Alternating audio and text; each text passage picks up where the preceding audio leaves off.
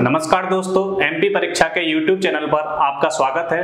आज की इस वीडियो में हम नंबर सिस्टम, यानी संख्या पद्धति, हम बेसिक से ये पढ़ेंगे कि इसमें वाकई जो जो संख्या होती हैं, उनका उपयोग क्या है और उनको हम प्रश्न में कैसे अप्लाई करते हैं। तो दोस्तों, आज की इस वीडियो में हम नंबर सिस्टम की बेसिक, यानी कि जो उसकी बेसिक बातें हैं, उसके बारे में जानेंगे। तो मैं स्टार्ट करता हूँ। देखते हैं कि हम संख्या पद्धति की बात करते हैं दोस्तों। एग्ज़ाम में इससे जो प्रश्न आता है, वो इसके एप्लीकेशन पर आता है, यानी कि इसके अनुप्रयोग पर आता है। लेकिन छात्रों को ये पता ही नहीं रहता है कि कौन सी संख्या किस प्रकार की संख्या है। तो पहले इसके बेसिक अच्छे से हम जानेंगे कि इसका बेसिक कॉन्सेप्ट क्या है। उसके बाद हम संख्या पद्धति को आज से हम एक बेसिक स्टार्ट कर रहे हैं। उसके बाद और आपकी चार पाँच वीडियो आएँगी, जिसमें आपके प्राइम फैक्टर निकालना यूनिट डिजिट निकालना, ऐसे सभी टोटल जो भी नंबर सिस्टम से क्वेश्चन आपके एमपी कांस्टेबल चाहे रेलवे के एग्ज़ाम हो, चाहे आपके कोई भी स्टेट बोर्ड एग्ज़ाम हो, उनमें बहुत ही आपके लिए हेल्पफुल रहेंगे। देखते हैं दोस्तों संख्या पद्धति। संख्या पद्धति में अगर मैं बात करूँ तो सबसे पहली संख्या मैं लेता हूँ आपके सामने, प्राकृत संख्या। प्राकृत संख्या या नेचुरल नंबर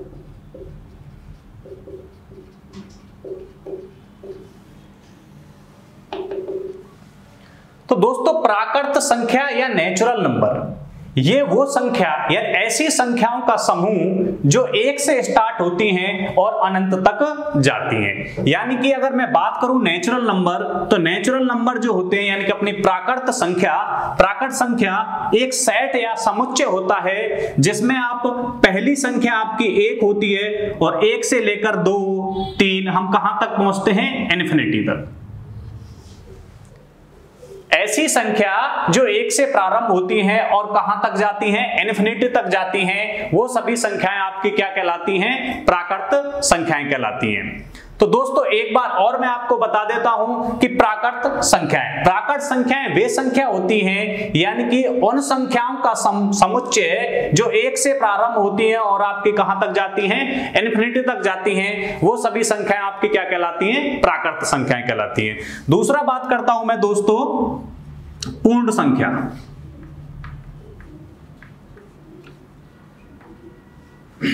इन्हें बोलते हैं अपन होल नंबर। दोस्तों, क्या हुआ कि इसमें मैंने देखा जो प्राकट संख्या थी, उसमें आप कहीं भी ज़ीरो नहीं दिखाई दे रहा है। तो ये पूर्ण संख्या जब, पूर्ण संख्या जब डिवाइड में आई, यानी कि जब आई ये दोनों, कि जब ज़ीरो का आविष्कार हो चुका था। यानी कि ऐसी संख्याएँ जिनमें हम ज़ीरो प्लस प्राकृत संख्याएँ यानी एक तरह से हम कह सकते हैं, ऐसी संख्याएँ पूर्ण संख्या कहलाएँगी, जिनमें सभी प्राकृत संख्या भी हो और उनके साथ आपका क्या हो? ज़ीरो हो। तो होल नंबर जिसे हम W से डिनोट करते हैं, वो हो जाएगा आपका zero one two three up to infinity तो ये आपके क्या हो जाएँगी? पूर्ण संख्याएँ। यानी कि ऐसी संख्याओं का समुच्चय जिनमें पहली संख्या आपकी ज़ीरो हो और ज़ीरो से लेकर आप कहाँ तक पहुँचे? इन्फिनिटी तक पहुँचे। वो सभी संख्याएँ आपकी क्या कहलाएँगी? पूर्ण संख्याएँ कहलाएँगी। नेक्स्ट देखते हैं। थर्ड नंबर पर आपका आता है पूर्णांक संख्याएँ।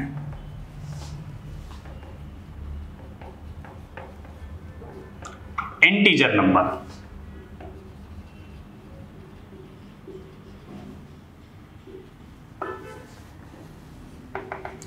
अब हुआ क्या दोस्तों? जब कभी एक छोटी सी बात सोचते हैं हम कि व्यक्ति ने यह सोचा कि मेरे पास यदि किसी ने रुपए दे दिए यानी कि मुझे किसी ने रुपए दिए तो मेरे दिमाग में ये चीज़ सब, सबसे पहले बैठी है मेरी जेब में कुछ ना कुछ रुपए आए। इसका मतलब मैंने सोचा कि ऐसी चीज़ें प्लस में होती हैं। लेकिन अगर वो ही पैसे अगर मेरी जेब से गए किसी के पास इसका मतलब ये हुआ दोस्तों कि मेरी जेब में अब कुछ नहीं बचा। तो मेरी जेब से गए तो मैंने जब घर जाके शाम को इन दोनों चीज़ों पर एनालिसिस किया तो मुझे पता चला कि एक बार तो मेरी जेब में पैसे आए थे और वापस मैंने पैसे दे दिए तो मेरी जेब में जो भी पहले था, वो ही बचा। इसका मतलब ये है कि पूर्णांक संख्या है। इस चीज़ को आप कैसे रिलेट करोगे उधर से? उन्होंने बोला कि मेरी जेब में कुछ नहीं बचा। इसका मतलब ये हो गया दोस्तों कि मध्य में आप क्या ले लो? ज़ीरो। मध्य में आप क्या ले लो? ज़ीरो। और इधर साइड में आप दोस्तों क्या लेंगे? और इधर साइड में आप दोस्तों क्या लेंगे? इधर साइड का मतलब यह है दोस्तों कि आपकी जेब में कुछ ना कुछ पैसा आया। इसका मतलब इधर जो भी धनात्मक, एक, दो, तीन अप टू इंफिनिटी और इधर आप कौन सी संख्या लोगे? यानी आपने पैसे दे दिए minus two minus three minus four minus five यानी कि पूर्णांक संख्या ऐसी संख्याओं का समुच्चय होता है, जिनमें ज़ीरो से लेकर एक तरफ़ आपका क्या होती हैं? धनात्मक संख्याएँ होती हैं और एक तरफ़ आपकी क्या होती हैं? ऋणात्मक संख्याएँ होती हैं। तो कह सकते हैं हम कि ज़ीरो के राइट हैंड पे अगर हम चलेंगे तो ज़ीरो के दाएँ दाएँ सिरे पर धनात्मक धनात्मक प्राकृत संख्याएँ। और अगर इधर की बात करेंगे दोस्तों तो यहाँ हो जाएगा ऋणात्मक प्राकृत संख्याएँ। यानी इधर आपका minus one, minus two, minus three. तो पूर्णांक संख्याओं में आपका क्या होता है बेसिकली पूर्णांक संख्याओं में मध्य में आपकी ज़ीरो होती है और राइट हैंड साइड में, यानी कि दाएँ सिरे पर आपका क्या होता है? धनात्मक प्राकट संख्याएँ होती हैं और आपके बाएँ सिरे पर क्या होता है? ऋणात्मक प्राकट संख्याएँ होती है।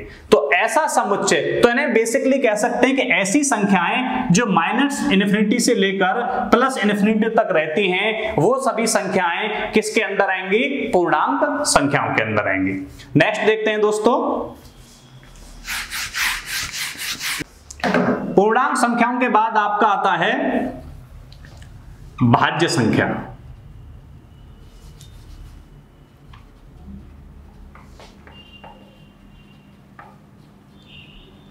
कंपोजिट नंबर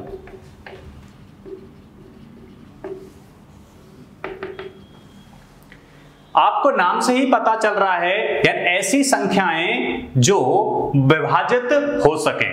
तो दोस्तों, ये ध्यान रखना, यहाँ प्रॉब्लम क्या होती है कि स्टूडेंट को यही नहीं पता रहता, एक, दो और तीन। इनको भी वो ये समझ बैठते हैं कि एक, दो, तीन, ये भी किसी ना किसी से भाज्य हो रही हैं। लेकिन दोस्तों, भाज्य संख्या का मतलब बेसिकली ये होता है कि कम से कम उसके दो गुणनखंड होना ज़रूरी है। अगर कम से कम दो गुणनखंड अगर किसी भी संख्या के हैं तो वही आपकी क्या कहलाएगी?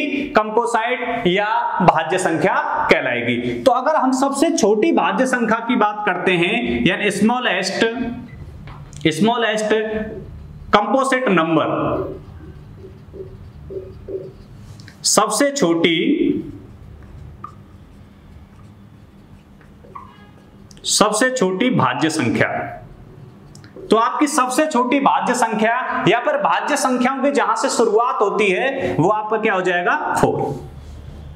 क्योंकि फोर में मैंने देखा, दोस्तों, अगर मैं इसका डिवाइड करूँगा, या फैक्टर निकालूँगा तो टू इंटू टू मैंने यही बताया था कि कम से कम आप पे कितने फैक्टर होने चाहिए? दो फैक्टर होने चाहिए, वही संख्याएँ आपकी क्या कहलाएँगी? भाज्य संख्याएँ. अगला हो जाएगा दोस्तों छ आठ, दस. पंद्रह ट्वेंटी ट्वेंटी फाइव। तो ये सभी संख्याएँ जिनके कम से कम आपके दो फैक्टर हैं, जिनमें किसी ना किसी का डिवाइड जा रहा है, एक या एक से अधिक संख्याओं का जिनमें क्या कर सकते हैं हम, विभाजित कर सकते हैं, वो आपके क्या कहलाते हैं, भाज्य संख्या कहलाते हैं। तो कभी जब डायरेक्टली आपके एग्ज़ाम में पूछ लिया जाता है कि सबसे छोटी भाज्य संख्या कौन सी है आपकी फोर और कभी जब ये पूछ लिया जाता है दोस्तों, सबसे छोटी विषम संख्या विषम संख्या जो एक भाज्य संख्या है? वो आपकी कौन सी है? नाइन। तो ऐसे आपको कुछ ध्यान भी रखना है इन चीज़ों को। ये बेसिक कॉन्सेप्ट होते हैं जो क्या करते हैं जब कभी बड़ा क्वेश्चन आप, आपका बनता है तो वो इन्हीं को कथन लेके बना लेता है कि निम्न में से कौन असत्य है या सत्य है। तो वो आपको किस प्रकार बनाएगा? वो बोलेगा कि सबसे छोटी भाज्य संख्या तीन है। दूसरा आपका कथन रहेगा कि सबसे बड़ी भाज्य संख्या नाइन है। आपका तीसरा कथन रहेगा कि सबसे छोटी भाज्य संख्या चार है। या फिर आपका कथन रहेगा, इनमें से कोई नहीं। तो आपसे प्रश्न पूछा था कि कौन सबसे छोटी भाज्य संख्या है? उससे संबंधित निम्न में से कौन सा कथन सत्य है? तो आपका कौन सा हो जाएगा कि सबसे छोटी भाज्य संख्या आपकी क्या है? चार है। तो दोस्तों, इस प्रकार आप भाज्य संख्याओं को अच्छे से समझ सकते हो। नेक्स्ट देखते हैं दोस्तों। नेक्स्ट आपका आता है परमेय संख्या।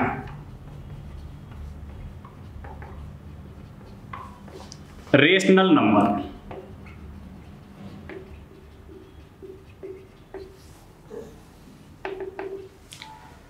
अगर परमेय संख्या के बारे में बात करते हैं तो ऐसी संख्याएँ जिन्हें हम P अपॉन Q के रूप में लिख सकते हैं। यार, ऐसी संख्याएँ हैं जिन्हें हम एक भिन्न के रूप में लिख सकते हैं। वे सभी संख्याएँ परमेय संख्या कहलाती हैं। लेकिन इसमें भी एक शर्त होती है दोस्तों।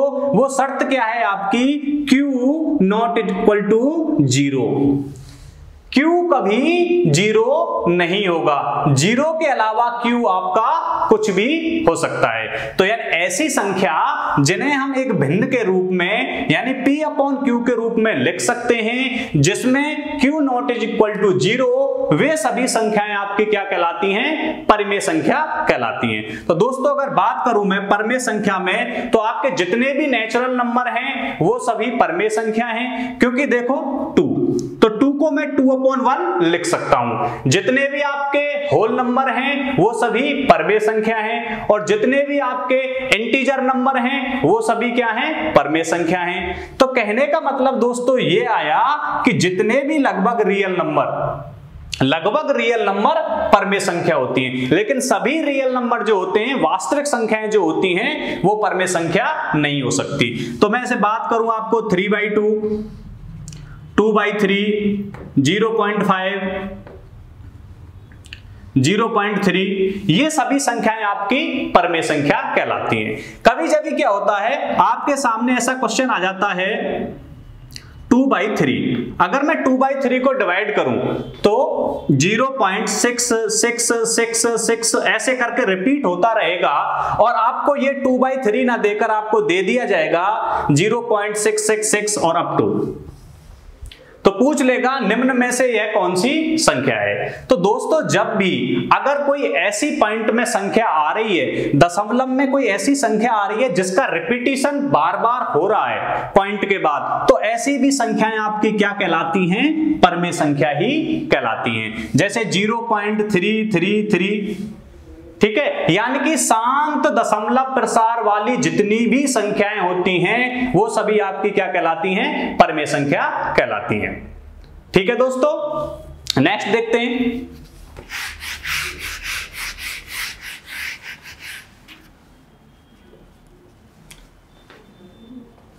नेक्स्ट होता है दोस्तों अपरमेय संख्या। तो जस्ट उसका रिवर्स है दोस्तों। परमेय संख्या ऐसी संख्या थी जिन्हें हम p अपॉन क्यू के रूप में लिख सकते थे। अपरमेय संख्या ऐसी संख्या है जिन्हें हम p अपॉन क्यू के रूप में नहीं लिख सकते। तो दोस्तों, इसमें आपको क्या याद रखना है कि जैसे इसके एग्ज़ाम्पल है आपके root three root five root seven और रूट नाइन मैंने दोस्तों रूट नाइन लिखा। तो बच्चे कंफ्यूज कंफ्यूज हो जाते हैं कि रूट वाली जो वैल्यू लगभग होती है, वो सभी आपकी क्या कहलाती हैं? अपर में संख्या। लेकिन दोस्तों रूट नाइन अब रूट नाइन को मुझे पता है ये किसका होता है? थ्री का होता है। तो थ्री और थ्री को मैं क्या लिख सकता हूँ? थ्री बाई वन तो इस तरह से ये कौन सी संख्या हुई? परमेय संख्या। तो दोस्तों, ऐसी संख्याएँ जो रूट के अंदर हैं और जिनका रूट हमें ज्ञात है, वो संख्याएँ आपकी क्या है? परमेय अपरमेय संख्याएँ नहीं कहलाएँगी। तो इस तरह से अंडर रूट नाइन एक परमेय संख्या है, ये अपरमेय संख्या नहीं है। रूट सेवन के अलावा दोस्तों रूट इलेवन उसके अलावा रूट थर्टी यानी कि जिनका हम वर्गमूल सीधे नहीं निकाल सकते, जिनका हमें नहीं पता रूट थ्री की वैल्यू क्या होती है। क्योंकि रूट थ्री की वैल्यू अगर देखते हैं तो दोस्तों हम लिखते हैं 1.732 तो कुछ छात्र बोलते हैं कि, सर 1.732 है, इसको भी तो हम दशमलव संख्या को भिन्न में बदलकर परमेय संख्या बना सकते हैं। लेकिन दोस्तों, ये इसकी अप्रोक्सीमेट यानी कि लगभग वैल्यू है जो हम कैलकुलेशन के लिए मान लेते हैं। लेकिन जो चीज़ मानते हैं दोस्तों, वो एग्जैक्ट वो चीज़ होती नहीं है। जब अगर इसकी हम बात करेंगे तो दोस्तों ये यहाँ तक, ऐसा रूट चलता, ऐसी पॉइंट की वैल्यू आती रहेंगी जो कभी खत्म नहीं होंगी या फिर उनका रिपीटिशन नहीं होगा। तो दूसरी डेफिनेशन यहाँ से ये बनती है अपर में संख्या की कि ऐसी संख्याएँ जिनका पॉइंट के बाद रिपीटिशन नहीं होता है, जो कहीं भी जाकर खत्म नहीं होती में होती है, आप डिवाइड देते चले जाइए, भाग देते चले जाइए, लेकिन उनका एंड पॉइंट नहीं आएगा। वो सभी संख्याएँ भी आपकी क्या कहलाएँगी? अपर में संख्या कहलाएँगी। इसमें एक सबसे बेस्ट एग्जांपल जो होता है, वो है आपका पाई लेकिन पाई में अगर दोस्तों आपको एग्जैक्ट पाई दे रखा है तो इसका मतलब ये अपर में संख्या है। लेकिन अगर आपको कहीं भी बाईस बटे सात दे दिया, जो हम पाई की वैल्यू के रूप में उपयोग करते हैं मैथमेटिक्स में क्वेश्चन करने के लिए, अगर बाईस बटे सात आपको दिया है और ये पूछा है बाईस बटे सात क्या है, समझना दोस्तों मैं क्या कहना चाह रहा हूँ? बाईस बटे सात क्या है? तो बाईस बटे सात आपकी परमे संख्या है। क्योंकि दिख रहा है ना मुझे कि मैं पी अपॉन क्यू के रूप में लिख रहा हूँ इसे आसानी से। लेकिन अगर बात करें बेटा पाई की तो पाई आपकी क्या है? अपर में संख्या है। क्योंकि पाई की जो वैल्यू होती है, वो 3.1414 एंड ऐसी वैल्यू आती है, जो पॉइंट के बाद कहीं भी उसका एंड पॉइंट नहीं आ पाता है। और मैंने बताया कि ऐसी संख्याएँ, जिनका पॉइंट के बाद ना तो बार बार रिपीटिशन हो रहा है, ना किसी एक नंबर पर जाकर खत्म हो रहा है, वो सभी संख्याएँ अपर में संख्याएँ कहलाती हैं।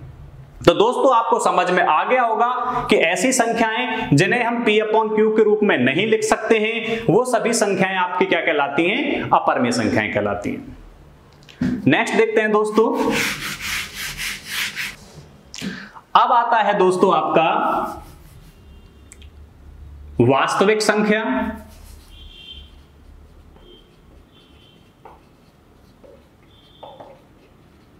और एक आता है आपका काल्पनिक संख्या।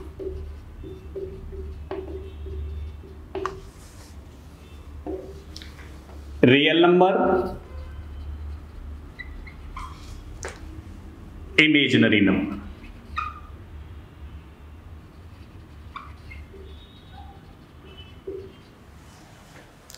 तो वास्तविक संख्याओं में यानी कि ऐसी जो भी हम पढ़े हैं अब तक, जो भी चीज़ हमने पढ़ ली है, चाहे प्राकट संख्याएँ पढ़ी हैं, चाहे हमने पूर्ण संख्याएँ पढ़ी हैं, पूर्णांक संख्याएँ पढ़ी हैं, हमने भाज्य संख्याएँ पढ़ी हैं, हमने अपरमेय संख्याएँ पढ़ी हैं, परमेय संख्या पढ़ी हैं, और आगे भी हम अभाज्य संख्या, जितनी भी संख्या हैं, वो सभी आपकी क्या कहलाती हैं? रियल नंबर वास्तविक संख्याएँ कहलाती हैं। इसका मतलब चाहे आपकी नेचुरल नंबर हो, चाहे आपका होल नंबर हो इंटीजर नंबर हो, आपका कॉम्पोसाइट नंबर हो, जितनी भी ये हम पढ़ चुके हैं, ये सभी आपकी वास्तविक संख्याएँ कहलाती हैं। यानी कि जिन्हें हम यूज़ करते हैं मैथमेटिक्स में, जो आसानी से दिख भी जाती है हमें कि क्या है वो वास्तविक संख्याएँ। लेकिन दोस्तों, जब इमेजिनरी संख्या की बात करते हैं अपन इमेजिनरी संख्या इमेजिनरी संख्या बेसिकली इसकी डेफिनेशन होती है, अगर किसी अंडर रूट के अंदर माइनस की वैल्यू हो।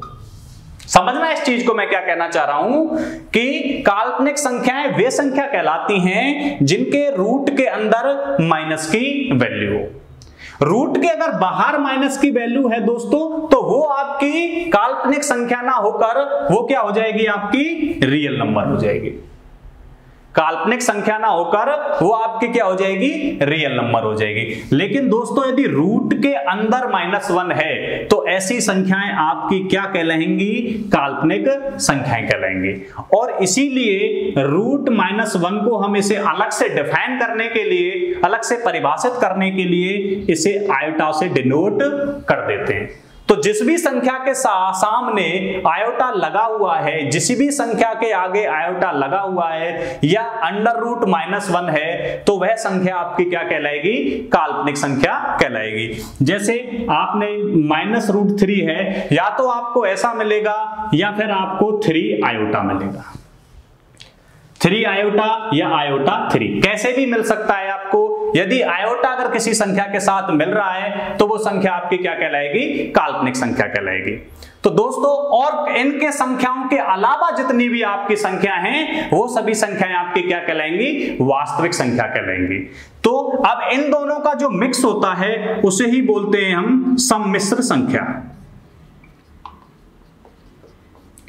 यानी कि सम्मिश्र संख्या का मतलब होता है दोस्तों, a प्लस आयोटा बी ऐसी संख्याएँ जिनमें वास्तविक संख्या भी हो, वास्तविक संख्या, और जिनमें काल्पनिक संख्या भी हो।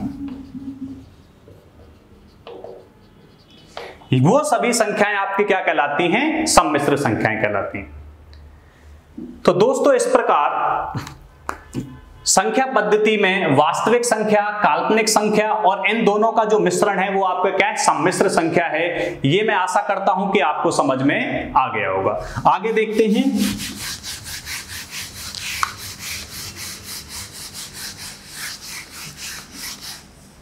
ये बेसिक नॉलेज है नंबर सिस्टम की, संख्या पद्धति की। तो आपको, हो सकता है कि डायरेक्टली आपको एग्ज़ाम में नहीं पूछा जाए, लेकिन इनका ज्ञान होना आवश्यक है, तभी आप नंबर सिस्टम में जो क्वेश्चन आएँगे, उनको कर पाओगे। नेक्स्ट संख्या देखते हैं दोस्तों, जो एग्ज़ाम के लिए बहुत इंपॉर्टेंट है। यहाँ से क्वेश्चन हमेशा एग्ज़ाम में पूछा जाता है।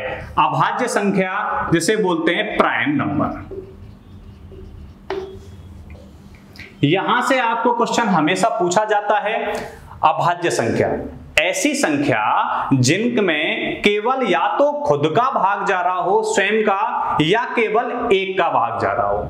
वो सभी संख्याएँ आपकी क्या कहलाती हैं? अभाज्य संख्याएँ कहलाती हैं। मैं एक बार और रिपीट कर देता हूँ। ऐसी संख्या जिनमें केवल स्वयं का भाग जा रहा हो या एक का भाग जा रहा हो, वो संख्याएँ क्या कहलाती हैं आपकी? अभाज्य संख्याएँ कहलाती हैं। जैसे अगर मैं बात करूँ दो, तीन, पाँच, सात, ग्यारह, तेरह और सत्रह। अब बोलेंगे स्टूडेंट सर, एक क्यों नहीं लिया? दोस्तों, एक ना तो प्राइम संख्या है, ना नॉन प्राइम संख्या है।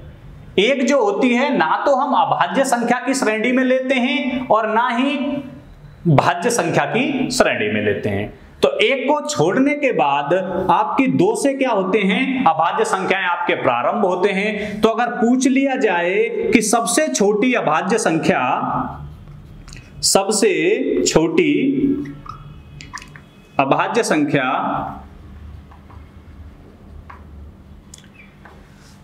आपके एमपी कांस्टेबल के एक पेपर में मैंने देखा, यही क्वेश्चन पूछा गया था कि सबसे छोटी अभाज्य संख्या क्या है? तो ऑप्शन आपके इस प्रकार थे, एक, दो, तीन, नौ। तो दोस्तों, लगभग दो स्टूडेंट्स ने, छात्र ने एक को टिक कर दिया। लेकिन अब आपको याद रखना है आज के बाद कि सबसे छोटी जो अभाज्य संख्या होती है, वो आपकी क्या होती है? दो। नौ हो नहीं सकता, क्योंकि नौ में किसी किसी ना किसी का डिवाइड चला जाएगा। मैंने क्या बताया, जिसमें स्वयं का डिवाइड जाए और या फिर एक से डिवाइड हो, वह संख्या आपकी क्या कहलाती है? अभाज्य संख्या कहलाती है। और दूसरी चीज़ दोस्तों एकमात्र एकमात्र सम अभाज्य संख्या। एकमात्र सम अभाज्य संख्या भी आपकी क्या है? दो ही है। तो ये दोनों चीज़ याद रखना कि सबसे छोटी अभाज्य संख्या क्या है आपकी? दो है। और एकमात्र सम अभाज्य संख्या भी आपकी क्या है? दो है। अगर पूछ लिया जाए कि सबसे छोटी विषम अभाज्य संख्या आपकी क्या है तो सबसे छोटी odd number odd prime number आपका क्या है? तीन है। यानी सबसे छोटी अभाज्य, विषम अभाज्य संख्या आपकी क्या है? तीन है। तो दोस्तों, कुछ पॉइंट है, वो आप लिख लो। एक से लेकर 25 तक अगर मैं बात करूँ, कितनी अभाज्य संख्या होती हैं तो दोस्तों, एक से लेकर 25 तक आपकी टोटल कितनी अभाज्य संख्या होती हैं? नौ अभाज्य संख्या होती हैं। 25 से लेकर 50 तक 25 से लेकर 50 तक आपकी टोटल कितनी अभाज्य संख्या होती हैं? छह। और दोस्तों 50 से लेकर पिचहत्तर तक आपकी अभाज्य संख्याएँ होती हैं सॉरी 50 से लेकर सौ तक आपकी अभाज्य संख्या होती है दोस्तों दस। तो ये भी आपको याद रखना है, ये आपको डायरेक्टली याद रखना है कि एक से लेकर 25 तक टोटल अभाज्य संख्याएँ कितनी होती हैं? नौ। 25 से लेकर 50 तक कितनी अभाज्य संख्या होती हैं? छह। और 50 से लेकर 100 तक कितनी अभाज्य संख्या होती हैं? 10 तो आपको डायरेक्टली पूछ लिया जाता है कि एक से लेकर 100 तक टोटल अभाज्य संख्या आपकी कितनी रहेंगी? 25 ठीक है दोस्तों नेक्स्ट देखते हैं। नेक्स्ट है आपका दोस्तों सहभाज्य संख्या या को प्राइम नंबर इन्हीं को दोस्तों हम क्या बोल सकते हैं? रिलेटिवली प्राइम नंबर यानी कि सहभाज्य संख्या को प्राइम नंबर या रिलेटिवली प्राइम नंबर तो ऐसी दो संख्याएँ, जैसे मैंने ये दो संख्या ली है हमेशा पेयर में रहेंगी। पहली चीज़ तो ये है। क्यों? क्योंकि इसमें बोला है सह अभाज्य संख्याएँ। तो ये हमेशा पेयर में रहेंगी। आपके पास एक संख्या है ए और एक संख्या है आपकी बी तो इन दोनों संख्याओं का यदि हम एच बात करें, महत्तम समापवर्तक की बात करें हम तो हमेशा क्या आएगा? वन। लेकिन दोस्तों, इसमें यह ज़रूरी नहीं है कि कभी जब भी बच्चे यहाँ कंफ्यूज रहते हैं कि ए और बी सहभाज्य संख्या हैं, इसका मतलब ये दोनों अभाज्य संख्या होंगी, तभी सहभाज्य संख्या कहलाएँगी। ऐसा नहीं है। हमारा इसकी डेफिनेशन क्या है दोस्तों? ऐसी दो संख्याएँ, अगर एक युग्म में है पेयर में है तो उनका एचसीएफ हमेशा क्या आना चाहिए? वन चाहे वो सम संख्या हो सम संख्या का पेयर हो, चाहे वो विषम संख्या का पेयर हो, कैसा भी पेयर हो, ज़रूरी नहीं है कि वो सभी अभाज्य संख्या ही हो। जैसे मैं अगर एग्ज़ाम्पल लेता हूँ आपका तो एग्ज़ाम्पल में आपका मैंने ले लिया फोर और थर्टीन तो दोस्तों थर्टीन तो एक आपकी क्या है? अभाज्य संख्या है। फोर आपकी क्या है? एक भाज्य संख्या है। तो दोस्तों, अब ये ज़रूरी नहीं है। मैं यही चीज़ समझाना चाह रहा हूँ कि ये ज़रूरी नहीं है कि दोनों संख्याएँ अभाज्य संख्या ही हो। कॉन्सेप्ट पकड़ना दोस्तों कि यह ज़रूरी नहीं है कि दोनों ही संख्याएँ अभाज्य संख्या हो। दोनों संख्याएँ कुछ भी हो सकती हैं, लेकिन उन दोनों में कोई भी चीज़ कॉमन ना हो, कहने का मतलब उनका महत्तम समावर्तक वन हो। तो दोस्तों, चार और थर्टीन का अगर मैं एचसीएफ की बात करता हूँ, महत्तम समावर्तक की बात करता हूँ तो वो कितना है? वन। तो ये फोर और थर्टीन आपका क्या कहलाएँगे? को प्राइम नंबर या सह अभाज्य संख्या। और जैसे एग्ज़ाम्पल दोस्तों, आप ले लेते हैं 12 और 17 और आपके एग्ज़ाम एग्ज़ाम्पल 6 13 या 11 13 दो अभाज्य संख्याएँ। सहभाज्य संख्या तो ऑटोमेटिक ही होंगी, क्योंकि अभाज्य संख्याओं में तो किसी का डिवाइड ही नहीं जाता है, किसी से वो विभाजित ही नहीं होती है। लेकिन कॉन्सेप्ट यहाँ रहता है कि एक इवन नंबर और एक आपका क्या है? प्राइम नंबर ये दोनों भी अगर इनके बीच में भी कुछ कॉमन नहीं है तो वो भी आपकी क्या कहलाएँगी? सहभाज्य संख्याएँ कहलाएँगी। नेक्स्ट देखते हैं दोस्तों। अब आ जाता है आपका लास्ट टॉपिक है इसका, सम संख्या, विषम संख्या। सम संख्या यानी कि इवन नंबर विषम संख्या यानी ऑड नंबर तो अगर मैं सम संख्या की बात करता हूँ दोस्तों तो ऐसी संख्याएँ जिनमें दो का पूरा पूरा भाग चला जाए वो सभी संख्याएँ आपके क्या कहलाती हैं? सम संख्याएँ कहलाती हैं। तो जैसे मैं अगर एग्जांपल लू, zero, two, four, six, eight. कभी जब दोस्तों इसका कंफ्यूजन रहता है स्टूडेंट को कि ज़ीरो क्या है? ज़ीरो ना तो पॉजिटिव संख्या है, ना धनात्मक संख्या है, ना ऋणात्मक संख्या है। क्योंकि ज़ीरो का मतलब होता है अंत। कहने का मतलब सब ज़ीरो है, कुछ नहीं है। जैसे अपने जीवन में भी हम बात करते हैं कि इंसान जन्म लेता है और अपने जीवन की जो भी उसकी क्रिया विधि है, अपने कर्मांड के अनुसार वो करता रहता है, लेकिन अंत में जाके उसे क्या होना पड़ता है? ज़ीरो। तो उसकी लाइफ में क्या पॉजिटिविटी रही? नेक्स्ट है दोस्तों, सम संख्या इवन नंबर विषम संख्या और नंबर सम संख्या यानी ऐसी संख्याएँ जिनमें दो का पूरा पूरा भाग चला जाए, वे सभी संख्याएँ आपकी क्या कहलाएँगी? सम संख्या कहलाएँगी। इसके अलावा जिनमें दो का पूरा पूरा भाग नहीं जाता है, वो संख्याएँ आपकी क्या कहलाएँगी? विषम संख्या कहलाएँगी। तो दोस्तों, अगर सम संख्या की बात करता हूँ, ज़ीरो, दो, चार छ आठ।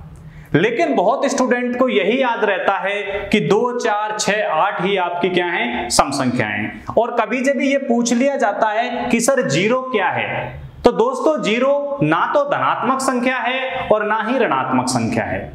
ज़ीरो का मतलब माना जाता है कि भोलेनाथ के डमरू से इसका क्या है? प्रोड्यूस या उत्पादन हुआ था एक तरह से, और या फिर हमारे जो आर्यभट्ट थे, उन्होंने भी ज़ीरो की खोज की थी। तो दोस्तों, ज़ीरो का बेसिक मतलब ये होता है कि जैसे व्यक्ति का जन्म होता है, जन्म होने के बाद वो अपनी कर्म कांड क्रिया के साथ अपने जीवन को व्यतीत करता है और एक दिन ऐसा टाइम आता है कि वो मिट जाता है या फिर वापस वो क्या हो जाता है ज़ीरो। ज़ीरो में ही पैदा हुआ था और ज़ीरो में ही चला जाता है। तो दोस्तों, ज़ीरो ना तो धनात्मक संख्या है और ना ही ऋणात्मक संख्या है। लेकिन ज़ीरो एक सम संख्या है। क्यों? क्योंकि अगर ज़ीरो में अगर मैं दो का भाग दूँगा दोस्तों तो वो कितने टाइम जाएगा? ज़ीरो टाइम जाएगा। तो इसलिए हम कह सकते हैं कि ज़ीरो एक सम संख्या है। उसके अलावा अगर विषम संख्या की बात करता हूँ दोस्तों तो आपका one, three, five, nine, seven, eleven, thirteen, यानी कि जितनी भी ऐसी संख्या जिनमें दो का पूरा पूरा भाग नहीं जाएगा, वो सभी संख्याएँ आपकी क्या कहलाएँगी? विषम संख्याएँ कहलाएँगी। नेक्स्ट देखते हैं दोस्तों, आरोही क्रम। अवरोही क्रम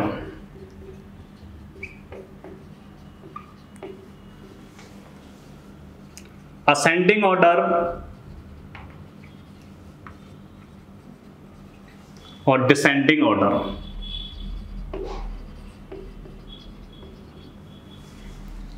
दोस्तों, यहाँ कुछ छात्रों को बहुत कंफ्यूजन होता है, क्योंकि वो बार बार इस चीज़ को रट लेते हैं कि आरोही क्रम क्या होता है, अवरोही क्रम क्या होता है, और एग्ज़ाम में क्या होता है, हमारे ऊपर एग्ज़ाम का प्रेशर रहता है। इस वजह से वहाँ हमें कंफ्यूजन हो जाता है पैदा कि कौन सा आरोही क्रम रहता है और कौन सा अवरोही क्रम रहता है। लेकिन आज के बाद किसी भी टाइम आपको ये कंफ्यूजन नहीं होगा कि कौन आरोही क्रम में है और कौन अवरोही क्रम में है। तो आरोही क्रम की बात करता हूँ दोस्तों तो ऐसी संख्या जिन्हें हम यानी कि ऐसा क्रम जिन्हें हम छोटे से छोटे से बड़े की ओर लिखते हैं।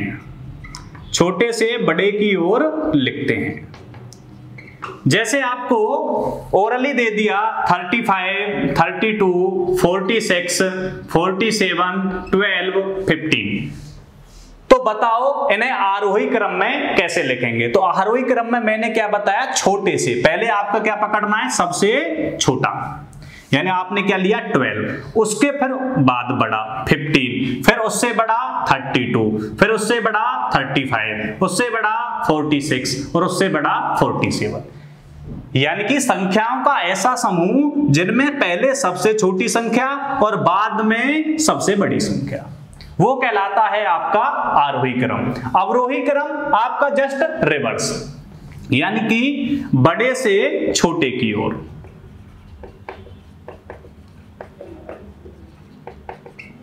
तो इसी एग्ज़ाम्पल को ले लेते हैं। इसमें सबसे बड़ा है 47 उसके बाद आपका छोटा है 46 फिर आपका छोटा है 35 फिर आपका 32 फिर आपका 15 फिर आपका 12 तो यह क्रम आपका कहलाएगा अवरोही क्रम। लेकिन यह चीज़ तो सर आप क्या बता रहे हो? ये तो सबको ही पता है, आरोही क्रम का मतलब होता है छोटे से बड़े की ओर और अवरोही क्रम का मतलब होता है बड़े से छोटे की ओर। हमें तो अपना कंफ्यूजन दूर करना है। तो दोस्तों, अगर कंफ्यूजन दूर करना है तो आपको क्या याद रखना होगा? मैंने क्या शब्द है मेरा? आप इनका हिंदी अर्थ याद रखो। आरोही और इसका हिंदी अर्थ याद रखो, अवरोही। मैं इधर एक बार आपको समझा देता हूँ, ये मिटा देता हूँ एक बार।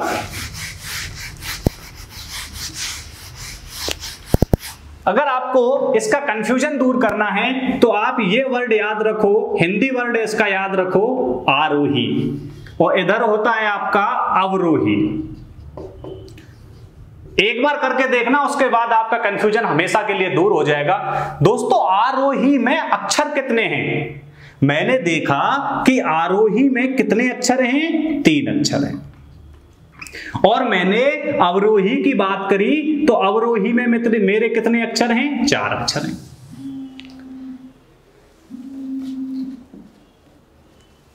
मैंने देखा, दोस्तों, आरोही में, मैंने देखा, दोस्तों, आरोही में तीन अक्षर हैं और अवरोही में आपके कितने हैं? चार अक्षर हैं। तो दोस्तों, अक्षर किसमें कम है? मुझे दिख भी रहा है किसमें कम है? आरोही में। तो इसका मतलब आरोही अवरोही से अक्षर के मामले में छोटा है। इसका मतलब आरोही का मतलब हो गया छोटे से बड़े की ओर। और अवरोही में आरोही से एक अक्षर ज़्यादा है, यानी कि बड़ा अक्षर है, इसका मतलब हो गया बड़े से छोटे की ओर। तो ऐसे आप याद रखो तो आपका हमेशा कंफ्यूजन दूर रहेगा। अगर प्रश्न में जैसे ही दिया कि इनको आरोही क्रम में लगाइए, दोस्तों, जब आप माध्यका, बहुलक और समांतर माध्य की बात, इनमें से अगर माध्यका की बात करेंगे तो आपको बहुत ही छोटा क्वेश्चन दे दिया जाता है और उसमें आपको आरोही क्रम में लगाना होता है। लेकिन कंफ्यूजन यही रहता है कि आरोही क्रम क्या है और अवरोही क्रम क्या है। तो क्या आरोही में क्या हो रहा है दोस्तों? आपको दिख रहा है कि छो, अक्षर छोटे हैं अवरोही से छोटा है तो छोटे से बड़े की ओर। अवरोही इससे बड़ा है तो बड़े से छोटे की ओर। तो इस प्रकार दोस्तों आप आरोही और अवरोही के कंफ्यूजन को दूर कर सकते हो। तो दोस्तों आज की वीडियो अगर आपको पसंद आई हो तो प्लीज़ चैनल को सब्सक्राइब करें लाइक करें और ज़्यादा से ज़्यादा शेयर करें। दोस्तों, आज हमने नंबर सिस्टम के बेसिक कॉन्सेप्ट को समझा था और आगे हम नंबर सिस्टम में आगे की चीज़ें आपको बहुत अच्छे से बताएँगे, जो आपके एग्ज़ाम में हमेशा देखने को मिलेंगी। थैंक यू दोस्तों, ऐसी और वीडियोस के लिए अभी सब्सक्राइब कीजिए एमपी परीक्षा चैनल को और बेल आइकन दबाना ना भूलें। और अगर आप किसी भी एग्ज़ाम की तैयारी कर रहे हैं तो अभी डाउनलोड करें परीक्षा ऐप।